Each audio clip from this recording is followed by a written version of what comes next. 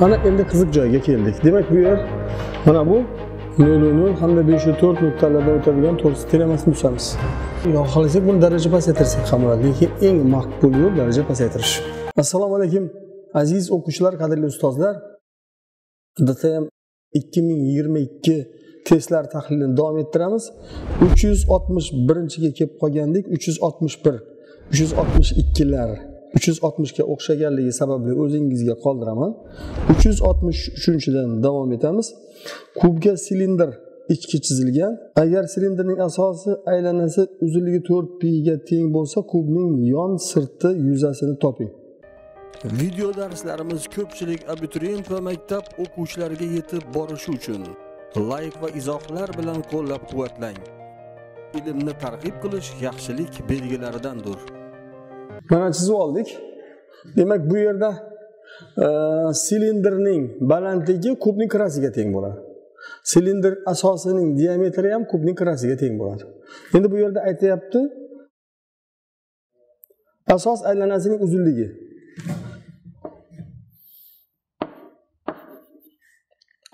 ikki pr aylana uzunligi formulasi.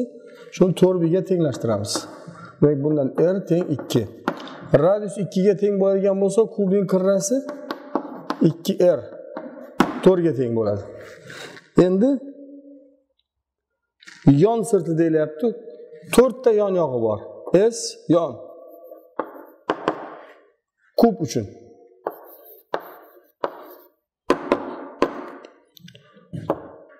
To'rt a kvadrat yoki to'rt ko'paytirilgan to'rtni kvadrati teng oltmish to'rt kvadrat birlikka teng bo'ladi. Uch yuz oltmish to'rtinchi shunga o'xshash ekan. Uch yuz oltmish beshga o'xshaganini yechganmiz uch yuz oltmish oltinchidan davom etamiz.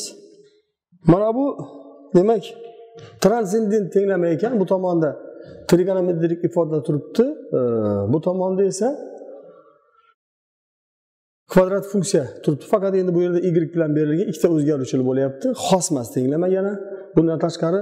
Chunki mana bu tomonida. X o'zgaruvchi u tomonda y o'zgaruvchi. Endi mana bunga e'tibor beringlar. Hammasiga modul qo'ysak ham bo'ladi buni chunki mana bu ham musbat bo'lyapti u holda ikki tangens x taqsim ikki bir plyus tangens kvadrat x taqsim ikki bizda mana bunday bo'ladi. Sinus ikki x formulasiga ko'ra sinus x bo'ladi. Yoki mana bunday. Modul sinus x. Bu tomonni formulaga olib kelib olamiz. Mana bunday. Demak bu tomonni eng kichkina qiymati o'ng tomonni. Y teng bir bo'lganda ikkiga teng. Y teng birda ikkiga teng. Mana bu tomon. Mana bunday yorug'likda demak qiymatlar sohasiga ko'ra ikki tomon hech qachon teng bo'lolmaydi. Shuning uchun tenglama yechimlari nolta yoki bo'sh to'plamdan iborat bo'ladi. Uch yuz oltmish yettinchi. Rasmda g'ildirak ko'rsatilgan yo'nalish bo'yicha harakatlanyapti. Aylana ikki metr masofa yurganda aylananing a nuqtasi bir yuz yigirma gradusga burilgan bo'lsa aylanani ikki ming yigirma marta to'liq aylantirsa aylana qancha masofani bosib o'tadi? Mana chizmaga e'tibor beringlar. Bir yuz yigirma gradus burilgan bo'lsa demak uch yuz oltmish gradusni uchdan bir qismini yurgan. uch yuz oltmishni uchdan bir qismi yurganda ikki metr yurgan bo'lsa demak ikkini uchdan birga bo'lamiz. olti metr yuradi to'liq bir aylanganda. Endi ikki ming yigirma marta aylanish uchun ikki ming yigirmani oltiga ko'paytiramiz. o'n ikki ming bir yuz yigirma degan javob kelib chiqadi. uch yuz oltmish sakkiz ham shunga o'xshagan ekan uch yuz oltmish to'qqizdan davom etamiz. Tenglamaning butun yechimlari yig'indisini topishimiz kerak. Demak butun yechimlar yig'indisini topish uchun e, bunday qilamiz x kvadrat plyus ikki x plyus bir. Formulaga olib kelmoqchiman. Plyus minus y kvadrat minus ikki minus bir teng nol mana birlar ayrilib ketadi. Asl holatiga qaytadi bu endi bo'ladi. X plyus birni kvadrati teng y kvadrat plyus uch mana formula bo'ldi bizda buni u tomonga o'tkazib yubordim endi bundan. X plyus bir teng plyus minus ildiz ostida y kvadrat plyus uch yoki x teng minus bir plyus minus ildiz ostida y kvadrat plyus uch ana endi qiziq joyga keldik demak bu yer mana bu kvadrat ildiz chiqadigan son bo'lishi kerak yoki butun yechim haqida natural yechim haqida gap ketadigan bo'lsa mana ildizdan ildizdagi son biror sonning kvadrati bo'lishi kerak. Ya'ni y kvadrat plyus uch teng a kvadratga teng bo'lishi kerak biror sonning kvadratiga. Bundan a kvadrat minus y kvadrat teng uch. Bundan a minus y a plyus y teng 3 birinchi. A minus y. A plus y. Demak ko'paytmasi 3 bo'ladigan 3 bilan 1 ikkinchi holat. Mumkin bo'lgan holatlarni yozib olay oldim. a minus y. 1 a plus y. 3 uchinchi holat. A minus y minus 1 a plus y minus 3 to'rtinchi holat. A minus y minus 3 a plus y minus 1 mana shu yerdan butun yechimlar juftligi haqida gap ketyapti bu yerda. Demak y ham butun bo'ladigan holatni izlab ko'ramiz. Endi mana bu sistemadagi yechimlarni mana bu tomonga yozib oldim man demak birinchisini qo'shib yuboradigan bo'lsak ani ham y ham topdik ani ham y ham to'rtta qiymat bo'ldi endi bizda. Endi bizga ani qiymati kerak emas endi y qiymati kerak. Minus bir bo'lganda mana ikkita qiymat chiqdi. Mana bu yerga olib kelib qo'ydim. Bir bo'lganda ham ikkita qiymat chiqdi. Va javoblarni mana bu yerga yozdim javoblar juftligini. Butun sonlar javob juftligini mana shu yerga yozdim. Endi biz savolda so'rayapti butun yechimlar yig'indisi. Demak barchasini yig'indisini so'rayapti bu yerda. Butun yechimlar yig'indisi minus to'rtga teng bo'ladi. Uch yuz yetmishinchida. Butun yechimlar juftligi debdi. To'rtta juftlik bor. Uch yuz yetmish birinchida. Natural yechimlar juftligi debdi. Mana natural yechim. Bitta natural yechimlar juftligi bor bu yerda. Uch yuz yetmish ikkinchi. Rasmda kvadrat va unga to'rtta teng aylana rasmdagidek ichi chizilgan. Kichik aylana to'rtta katta aylanaga urinadi. Agar kvadratning diagonali o'n sakkizga teng bo'lsa kichik aylana radiusini toping. Kvadratni diagonali berilgan bo'lsa demak e'tibor beringlar. Kvadrat tomonini topamiz. Masalan tomoni a deydigan bo'lsak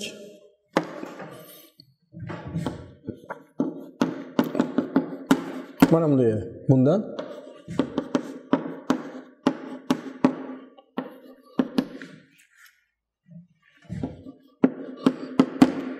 Mana tomonni topib oldik. Endi bunday qilaman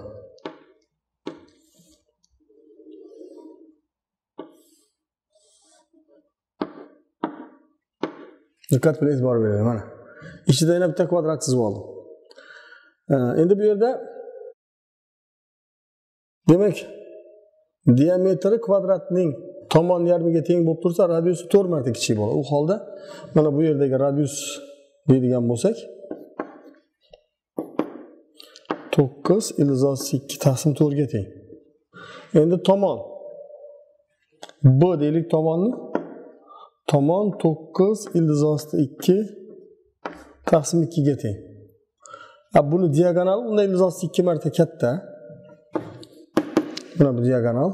Ildizosi ikki ildizosi ikki marta katta bo'ladigan bo'lsa ildizosi ikki ko'paytirib yuborsak to'qqiz bo'ladi. Mana bu diagonal to'qqiz. Endi shu diagonalda ikkita radius va ayirib tashlab ikkiga bo'lsak kichik radius topamiz. Ya'ni ikki r topish uchun to'qqizdan diametrni ayiramiz desak ham bo'ladi. Mana buni ikkiga ko'paytirib yuborsak to'qqiz ildizosti ikki taqsim ikki. Yoki r teng demak o'n sakkiz minus to'qqiz ildizosti ikki taqsim to'rt. Demak bu yerda s javobda ekan irratsional holatda berilgan ekan. uch yuz yetmish uch hozirgiga o'xshash ekan. uch yuz yetmish to'rtinchi rasmda b teng o'n sakkiz kichik rning katta erga nisbati uch besh kabi bo'lsa bu yerga soha yuzini toping bu yerda r kichik doira radiusi katta yer esa katta e, doira radiusi yozib olamiz. Demak mana bo'yalgan sohani ham bo'yab qo'ydim. Endi bunday qilamiz e'tibor beringlar bs chizmada o'n sakkizga teng bo'lsa bu holda radius urinmaga perpendikulyar degan joy bor edi eslaymiz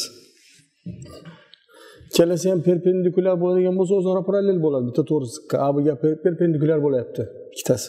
Bu holda mana bunga e'tibor beringlar a o o'siga teng. Chunki ikkalasi ham katta aylananing radiuslar u holda. O'rta bo'lyapti. Mana bu o'n sakkiz bo'ladigan bo'lsa mana to'qqizga teng. Ya'ni kichik radius to'qqizga teng. Endi uchu besh nisbatda deyapti. uch x e, to'qqizga teng bo'lsa besh x o'n beshga teng bo'ladi. U holda katta radius o'n beshga teng. Endi bizdan nimani so'rayapti? Uchburchak yuzini so'rayotgan ekan. Uchburchak yuzini topish uchun mana buni bu tomonga ko'chirsak abs uchburchak hosil bo'ladi yuz topish uchun bizga katetlari kerak. Demak uchburchakni mana bu yoqqa chizib olaman alohida. Mana to'g'ri burchak.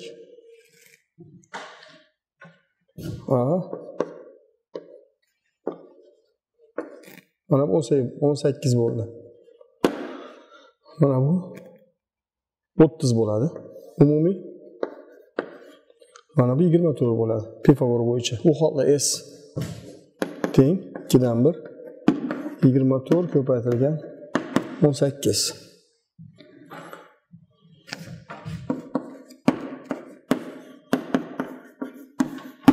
Mana bunday bo'ladi. Bo'yalgan sohaning yuzi.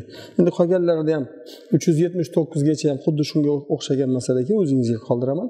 Har e, ko'rinishida har xil ranglari bo'yalgan. Endi bu yerda asosiy ma'lumot mana shu manbalarni topib olishdan iborat edi.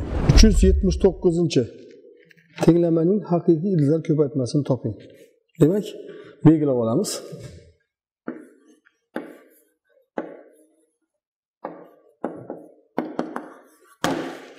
Mana buni y desak u holda mana bu kvadrati bo'lyapti. Tashqariga yozsak ham bo'ladi mana bu ikkini.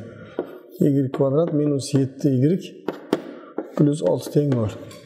Bunda y birinchi ikkinchi olti bilan birga teng bu teoremasiga ko'ra birinchi. Olti darajada demak logarifm ikki asosli kvadrat x ni oltiga tenglashtirsak.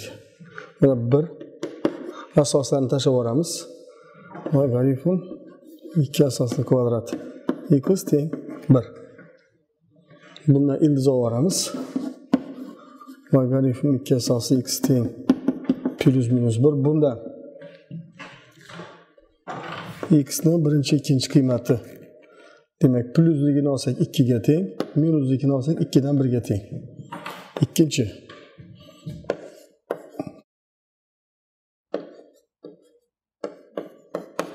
Birga tenglashtiramiz. Mana bu birga.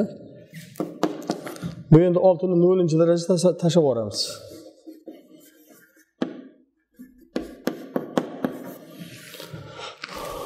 Ildiz olsak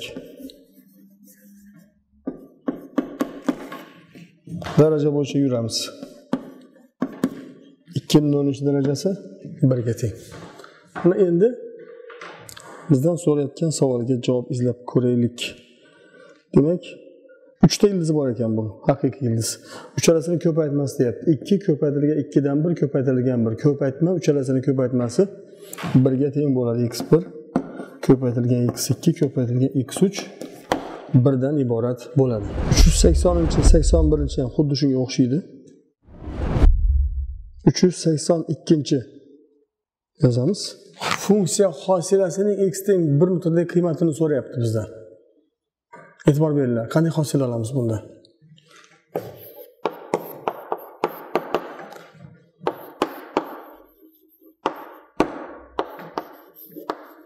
Hozircha kelinglar buni bitta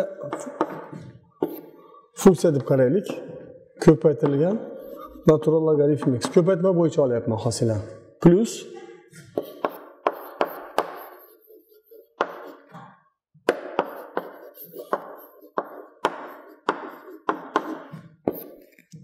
ko'paytirilgan mana bunday ko'paytma bo'yicha hosil olyapman endi bunday qilamiz agar buni ham hosil oladigan bo'lsak buni o'zi yana ko'paytma bo'ladi ya'ni buni hosilasi ko'paytirilgan buni o'zi plyus bu ko'paytirilgan buni hosilasi va natija baribir natural logaritm ko'paytiriladi shuning uchun bunday qilamiz birni qo'yib yuboramiz diqqat bilan e'tibor beringlar birni qo'yadigan bo'lsak mana bu yerga qo'ysam birni bularga ham qo'ydim birni deylik. Mana bunga qo'yadigan bo'lsam nolga teng bu nol bo'lib ketadi. Nima bo'lishidan qat'iy nazar. Mana bu hosila hisoblangandan keyin ham baribir bunga ko'payib nol bo'lib ketadi. Shuning uchun yozmayman uni. Endi mana bu yerga birni qo'yamiz. Qo'ya olamiz. Buni hosila olmasdan oldin qo'ya olmaymiz. Birni hosila olgandan keyin qo'yamiz. Lekin bu yerda qo'ya olamiz. Bir. Birni ikki ming ikkinchi darajasi. Bir. Mana bu yerga qo'yamiz. Bu bo'ladi tangens ikki ming yigirma ikki. Endi mana buni hosilasi bir taqsim x ga teng. U yerga birni qo'yib yuborsa ko'paytirilgan bir bo'ladi va natijada tangens ikki ming yigirma ikki degan natija bizda hosil bo'ladi. Uch yuz sakson uchinchi. Aniqmas integralni hisoblang. Daraja pasaytiramiz.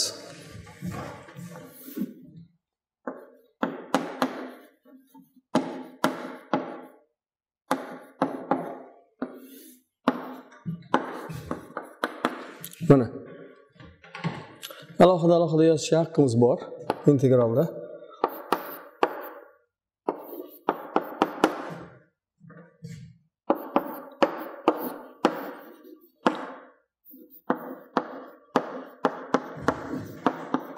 Mana.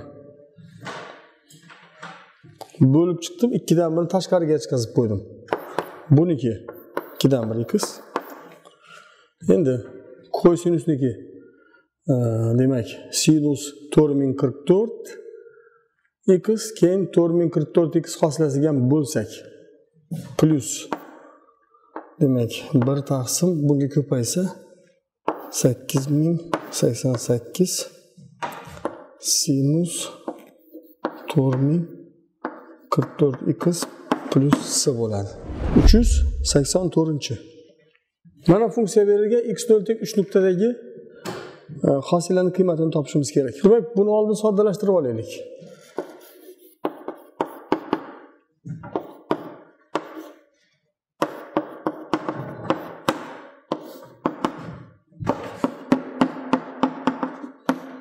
Mana bunday. Endi x nol teng uch deyapti uchdagi qiymatdan musbat bo'ladi. Shuning uchun e, funksiyani ko'rinishi mana bunday bo'ladi. Yoki? Mana bunday. Endi hosila olamiz.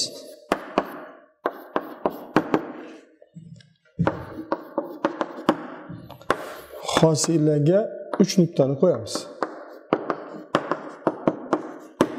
Mana bunday natija kelib chiqadi.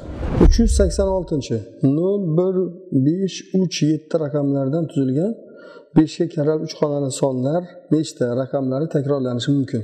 Demak uch xonali son deyapti.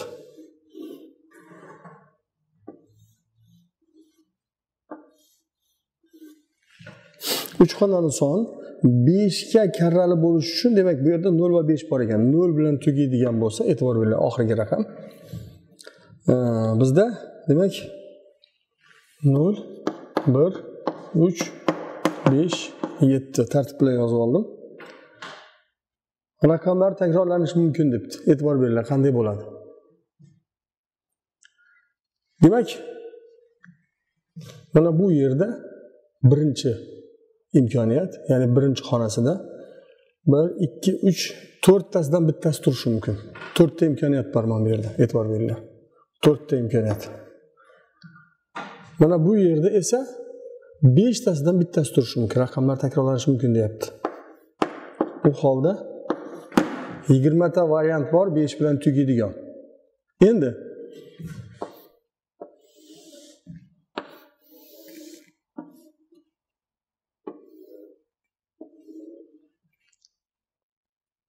besh turadigan bo'lsa mana besh turadigan bo'lsa demak mana bu yerda yana to'rttasidan bittasi tura oladi.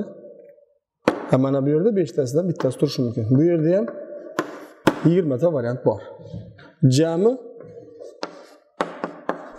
tuzish mumkin bo'lgan uch xonali sonlar soni qirqta endi uch yuz sakson yettinchi yana qaytadan yozib olaman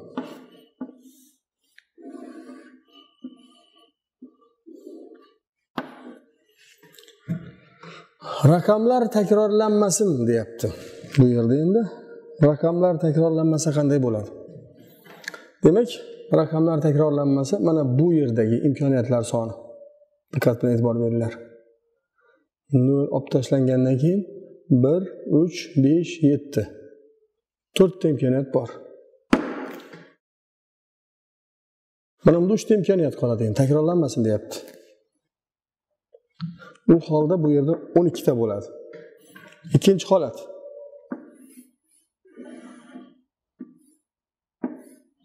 Mana bu yerda besh turadigan holat. Demak besh tursa e'tibor beringlar. Birinchi o'rinda bir ikki uchtasidan bittasi turishi mumkin nol tura olmaydi. Uchta imkoniyat bor. Yuzlar xonasida uchta imkoniyat bor. O'nlar xonasida. Demak o'nlar xonasida ham uchta imkoniyat qoldi endi bizda. Beshtadan ikkita imkoniyat ketdi. Va?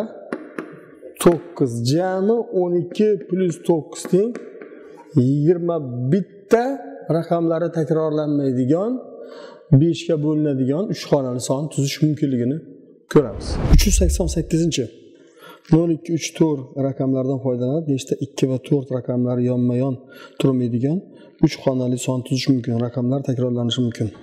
Demak birinchi holat e'tibor beringlar ikki bilan to'rt yonma yon turmaydigan bo'lsa mana bunday hmm, nol ikki uch to'rt. Bu holda bizda qanday bo'lishi mumkin? Mana bu yerda yonma yon turmaydigan bo'lsa nol turishi mumkin yoki uch turishi mumkin ya'ni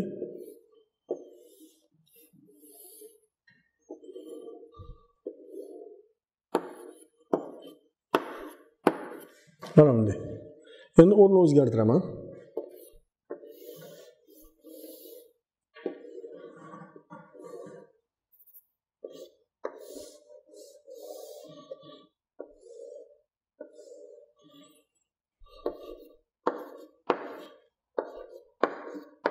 Mana bunday.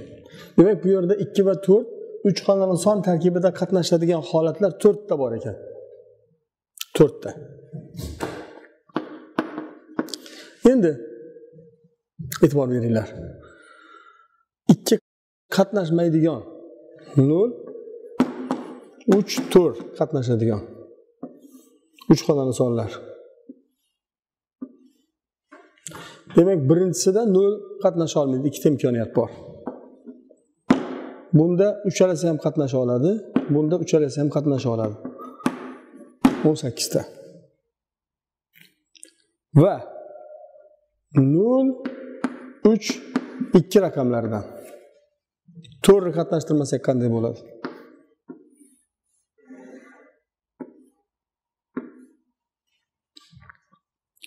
Demak mana bu yerda nol qatnasha olmaydi ikkita imkoniyat. Bu yerda ixtiyoriy bittasi qatnasha oladi uchta imkoniyat uchta imkoniyat. O'n sakkizta. Endi jamini qo'shadigan bo'lsa qirqta bo'lyapti hozir bu yerda e'tibor beringlar. Lekin bitta lekini bor. Mana bu yerda demak nol uch qatnashadigan nol uch qatnashadigan e, sonlar takror qatnashyapti. Uch xonali sonlar. Shularni ayirib tashlaymiz. Ya'ni qaysi sonlarni ayirib tashlaymiz? Demak qirqta bo'ladi hozir bu yerda. Nol va uch qatnashadigan. Oladigan bo'lsak mana bitta. Nol va uchdan tuziladigan. Mana bu ikkinchisi. Uch xonali son. Ikkitasini chiqarib tashlaydigan bo'lsak demak o'ttiz sakkizta biz izlayotgan uch xonali sonlar soni hosil bo'ladi. Uch yuz sakson to'qqizinchi. Bir xil ismga olib kelamiz. Tenglamada ham tenglikda ham bir xil ismga olib kelamiz. Xohlasak buni kosinus kvadrat x taqsim ikki minus sinus kvadrat x taqsim ikki deb yoyib yuborsak ham bo'ladi. Yo xohlasak buni daraja pasaytirsak ham bo'ladi. Lekin eng maqbul yo'l daraja pasaytirish.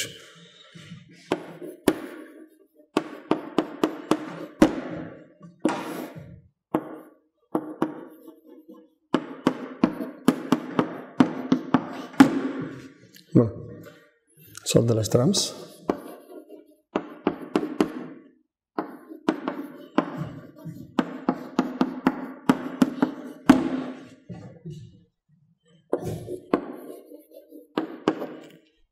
demak bu yerda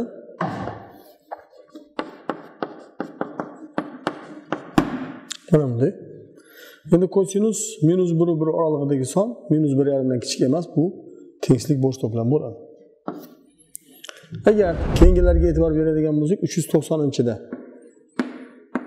uch yuz to'qson birinchida ham. Belgi bu tomonga qaragan. Demak bu x ning ixtiyoriy qiymatda bajariladi.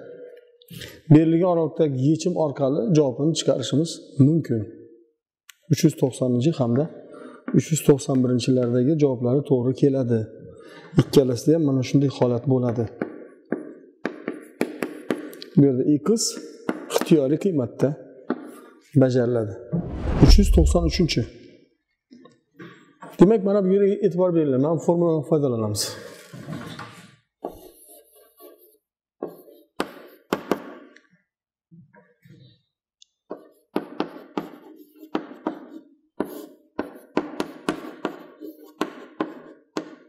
yoki bu, bu bunday ko'rinishda turibdi bu. Hozir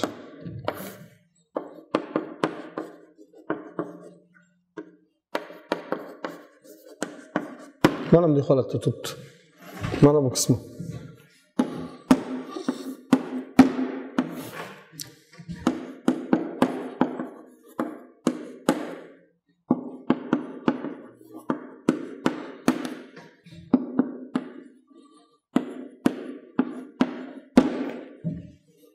mana bunga e'tibor beringlar mana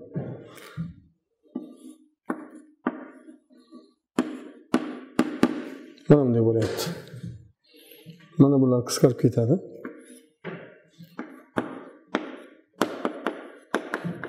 bunday javob hosil bo'ladi uch yuz to'qson to'rt uch yuz to'qson besh uch yuz to'qson oltinchi masalalarga o'xshaganlari oldingi videolarimizda bor uch yuz to'qson yettinchidan davom etamiz demak mana bu x nol nuqtasiga o'tkazilgan urinma nol nol hamda beshu to'rt nuqtalardan o'tadigan to'g'risida telamasini tuzamiz x minus x bir x2 minus x1 y minus y1 y2 minus y1 o'rniga qo'yib yuboramiz x minus 0 5 minus 0 y minus 0 4 minus 0 y teng 5 dan 4 x. Endi y shtrix x 0 bu k mana. Mana urinmaning burchak koeffitsiyenti mana shunday bo'ladi. Uch yuz to'qson sakkizinchi. Ifodani soddalashtiring x ni mana shunday qiymatida deyilibdi. Demak o'rniga qo'yib yuboramiz o'rniga qo'yish jarayonida kelinglar a ni qavsdan tashqariga chiqarib yuborsak. U holda a qavs ichida a minus b x yoki a.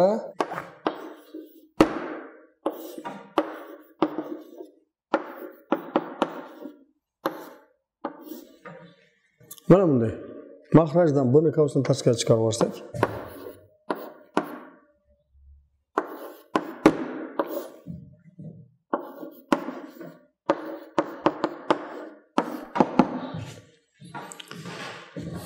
Soddalashtiramiz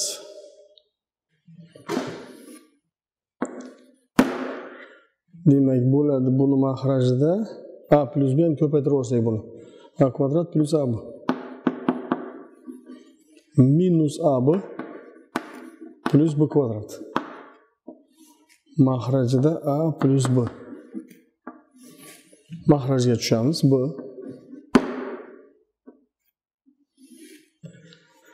AB плюс B квадрат плюс A квадрат минус AB.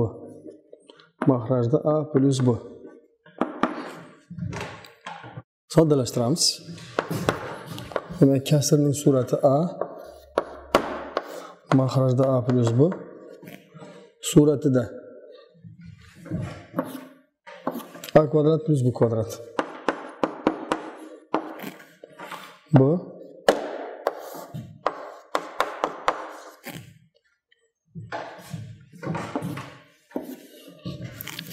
H kvadrat plus bu kvadrat. Bular qisqarib ketar ekan mana bunday kasr kelib chiqadi uch yuz to'qson to'qqizinchi modulda chiqazamiz modul ichida demak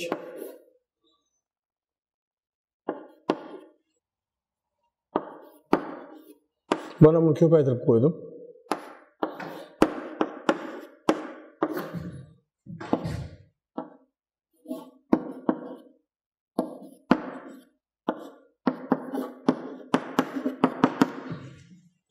mana endi qaysi kattaligini bilish uchun kvadratga oshiramiz. Mana buni kvadratga oshiradigan bo'lsak o'ninchi lizosti o'ttiz olti mana manfiy son bo'lib qolar ekan minus ta'sir qildiramiz.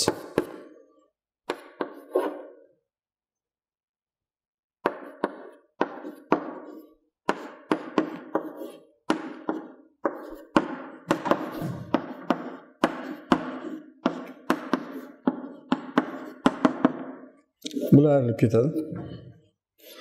Mana bunday yechimga ega bo'ldi. To'rt yuz ikkinchidan davom etamiz. Mana. Endi suratiga e'tibor beringlar. Bunday qilamiz. Suratni ikki qavsga ajratamiz. Qanday qilib? Oldin tayyorlab olamiz. Ilzosti yetti plyus bir minus to'rt deb yozamiz. Mana. Mahrajga tegmayman.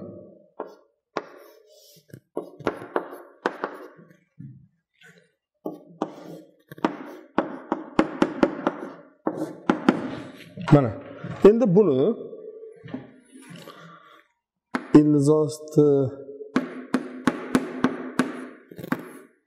e, mana buni kvadrati e'tibor beringlar mana. Minus ikkining kvadrati. Kvadratlar ayirmasi bo'yicha ikki qavsga ajratishga tayyorlayapmiz.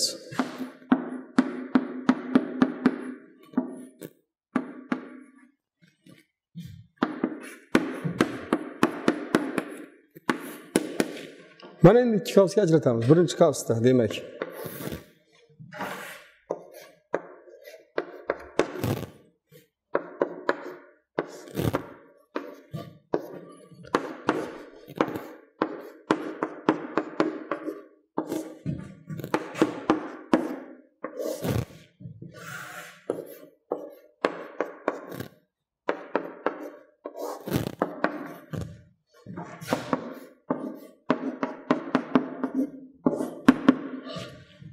mana endi? Mana bunday. Qisqartirib olamiz. Keyin bunga minus ta'sir qildirsak bular ham ayrilib ketib natijada ikki degan javob kelib chiqadi. To'rt uchinchi ham o'zinglarga qoldiraman xuddi shunga o'xshash ekan demak shuning bilan asosiy blokdagi matematik testlarimizni nihoyasiga yetkazdik keyingi videomizdan boshlab majburiy blokdagi testlarimiz bilan davom qildiramiz. E'tiboringiz uchun rahmat salomat bo'linglar. Bizni kuzatishda davom eting.